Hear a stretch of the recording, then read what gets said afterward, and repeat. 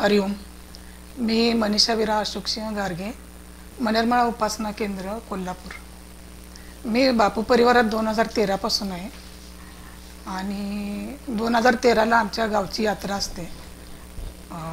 महाशिवरात्रीचा सण होता आणि आमच्या गावाकडची यात्रा असते. आणि गावी सगळी घरातली सगळी गेली होती. मी एकटीच घरी थांबली होती. मला ह्याने म्हटले तू काय गावी येऊ नको. मला यात्रेला खरं म्हणजे जायचं होतं पण ह्याने म्हटले तू घरीच थांब. तू काही येऊ नको यात्रेला. मग मी घरीच थांबले आणि त्या दिवशी सकाळी महाशिवरात्रीची द्वादशी होती आणि मला जाधव काकी म्हणून आमच्या गल्लीत आहेत त्यांनी मला म्हटल्या बापूंचं गुण संकीर्तन आहे आणि तू दत्त मंदिरात मनीषा ये. घरात पण काय काम नाही आणि मी पण उदास होते. मी म्हटलं चला काहीतरी आपण जाऊन येऊया. आता काय घरात बसून तरी काय करायचं म्हणून मी गेले. तर तिथं गुणसंकीर्तन पण संपत आलं होतं. आणि बापूंचा मंत्र चालू होता मोठ्याचा. गुरुक्षेत्र मंत्र चालू झालेला. आणि तो पाच वेळा घेतला. आणि ते कुठून चालू झाला आणि कुठं संपला मलाच काही समजलं नाही. पण वातावरण इतकं मला असं भारी वाटलं छान वाटलं. मनाला प्रसन्न वाटलं. मग नंतर मला कावणे करता येईल बेलोळी करता येईल मला बापूंबद्दल सगळं सांगितलं की तुम्ही शनिवारी उपासनेला येत जावा. मग उपासनेला मी यायला लागले. हळूहळू बापूंवर सगळा विश्वास बसायला लागला. आणि स्वस्तिक्षण संवादमध्ये जे बोलायचे त्याच्यावर सगळी उत्तर मिळायची बापूंची प्रवचनातून शिडीतून. आणि असेच भरपूर अनुभव आले बापूंचे. त्यातलंच मी माझ्या मुलगीचा अनुभव सांगणार आहे. माझी मोठी मुलगी इंजिनिअरिंगच्या लास्ट इयरला होती दोन हजार चौदाला. मला वाटतं नोव्हेंबरला. मला नक्की तारीख माहिती नाही पण नोव्हेंबर महिन्यात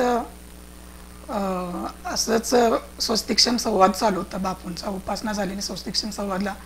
माझ्या काय मनात आलं कुणास मी बापूंना म्हटलं प्रत्येक आईला जशी आपल्या मुलीची काळजी वाटते तसं आता ही माझी मुलगी शेवटच्या वर्षात आहे.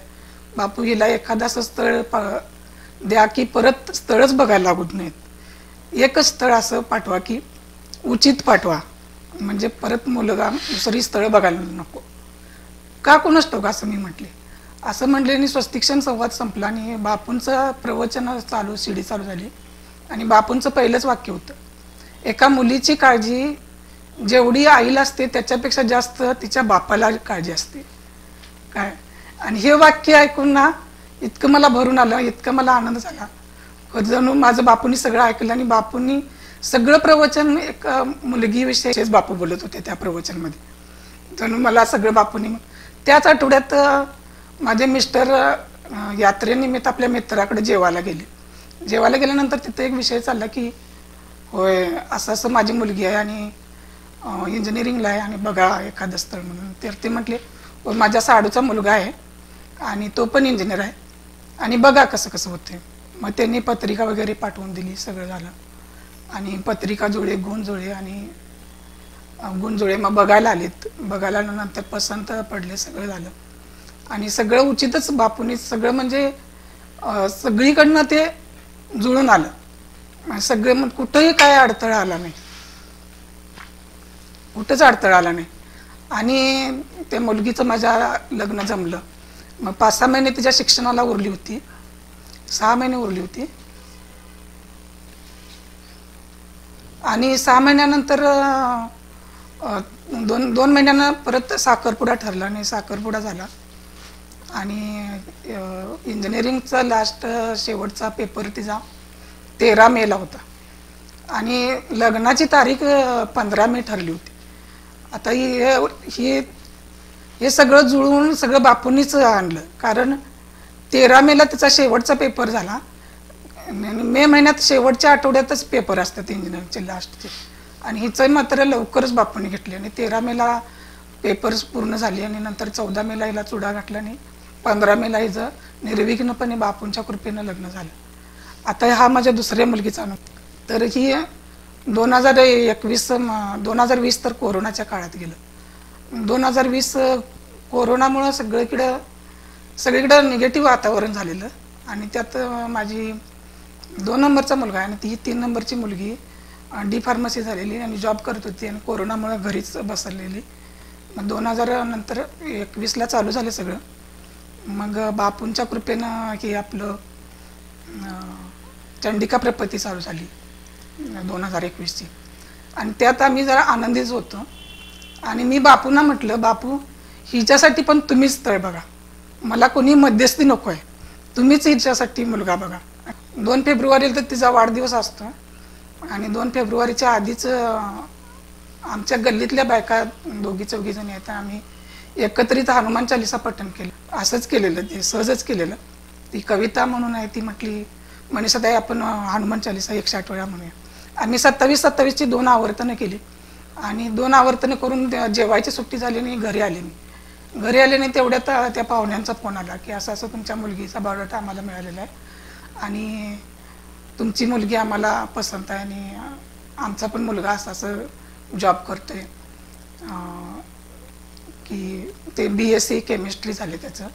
आणि तो जॉब करतो आहे आणि आमचे पाहुणे इथं तिथं आहेत. सगळी माहिती तिने सांगितली आम्हाला. आणि नंतर ती त्यांचं फील्ड वेगळं होतं हिचं फील्ड वेगळं होतं डी फार्मसीमुळं मग झालं आणि मग ह्यांना म्हणलं असू दे एवढे हे क विचारायला तर बघूया म्हटले. मग बघायला आले. एक आठ दिवसानं बघायला आले आणि बघून गेले. बघून गेले त्यांचं पाच सहा दिवस काय उत्तरच आलं नाही. आणि त्याच दिवशी त्या पाहुण्यांचा फोन आला की आम्हाला मुलगी पसंत आहे. मग झालं असू दे म्हटलं बघून तर या जावं. मग मी माझा भाऊ आणि माझे मिस्टर घर बघायला गेले.